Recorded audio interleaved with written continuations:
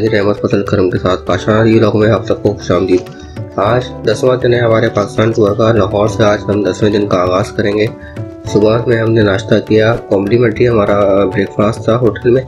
उसके बाद हम रवाना हो गए दाता दरबार। लाहौर को दाता की नगरी भी कहा जाता है। बर सकीर पाको हिंद के अजीम बुज़ुर्ग दादा गंज बख्श अली हजवेरी की शख्सियत किसी तारुफ की मोहताज नहीं। हज़ारों लोगों को इन्होंने मुसलमान किया। लाहौर आए और यहाँ हाजिरी ना दें, ऐसा मुमकिन नहीं। तो हम लोगों ने सबसे पहले यहाँ का रुख किया और आज फ्राइडे भी था। तो हमने सोचा कि यहाँ पे सबसे पहले हाजिर थे यहाँ पे दो नवाफिल अदा करें।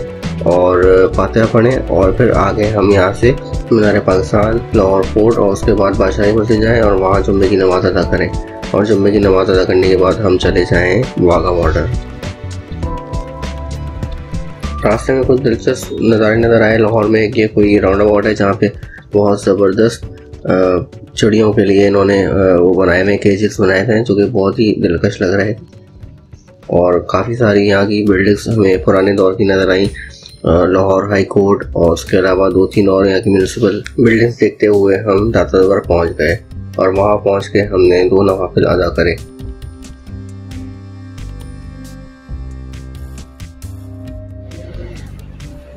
ये जो मनाजिर आप देख रहे हैं, ये दादा दरबार के अंदर के हैं और यहाँ पे सब लोग आके फातिहा पढ़ते हैं।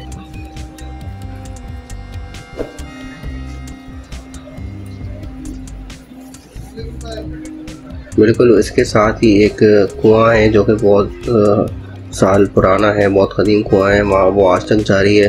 वहाँ से भी लोग पानी पीते हैं और पैसे आप होते हैं।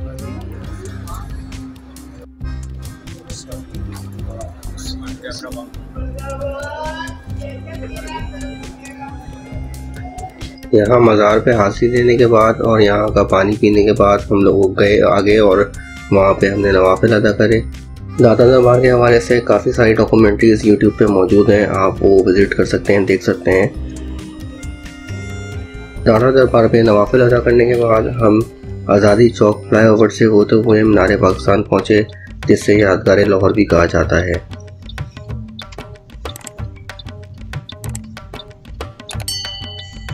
यादगार लाहौर, मीनार पाकिस्तान सेम उसी जगह तामीर हुआ, जहाँ 23 मार्च 1940 को ऑल इंडिया मुस्लिम लीग के अजलास में और कायद अजम की सदारत में करारदाद पाकिस्तान मंजूर हुई।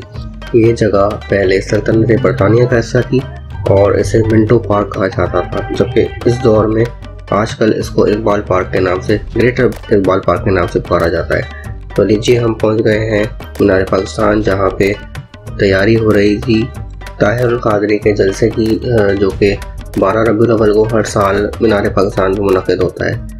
क्योंकि कल बारह रबी अव्वल भी थी तो इसी हवाले से यहाँ पे एक प्रोग्राम था। तो अब हम पहुँच चुके हैं मीनार पाकिस्तान और मीनार पाकिस्तान को हमने थोड़ा सा विज़िट किया।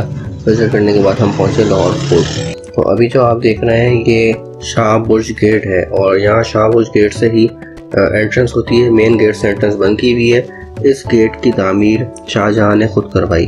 और इस ये जो पूरा किला है ये 1566 से भी बहुत पुराना है 1566 में अकबर के दौर से सैकड़ों साल पहले भी ये मौजूद था। तो 1566 में यहाँ पे अकबर ने इसकी रेनोवेशन करवाई और इससे आप अंदाज़ा लगा सकते हैं कि तकरीबन सात आठ सौ साल नौ सौ साल तो उससे हो गया और उससे पहले से ये मौजूद था। तो ये भी एक अपने फ़न का बहुत ज़बरदस्त शाहकार है। तो इसका हमने विज़िट किया इसके बारे में भी काफ़ी सारे वीडियोस मौजूद हैं। तो थोड़ी सी मैं आपको उसकी बता देता हूँ डिटेल जैसे इसको 1981 में यूनेस्को ने वर्ल्ड हेरिटेज कौमी सकाफती वर्षा करार दिया और ये भी बहुत ज़बरदस्त प्लेस है। ये जो बिल्डिंग आप सामने देख रहे हैं, इसे दीवान आम कहा जाता है। यहाँ पे मुग़ल बादशाह लोगों का दिल, लोगों को अपना दीदार कराते थे और उनसे बातचीत करते थे, उनके मसले सुनते थे। यहाँ पहुँच के हमें बड़ा एक ज़बरदस्त अपॉर्चुनिटी मिली वहाँ के मुग़ल बादशाहों के ड्रेसेस पहन के पिक्चर्स लेने की।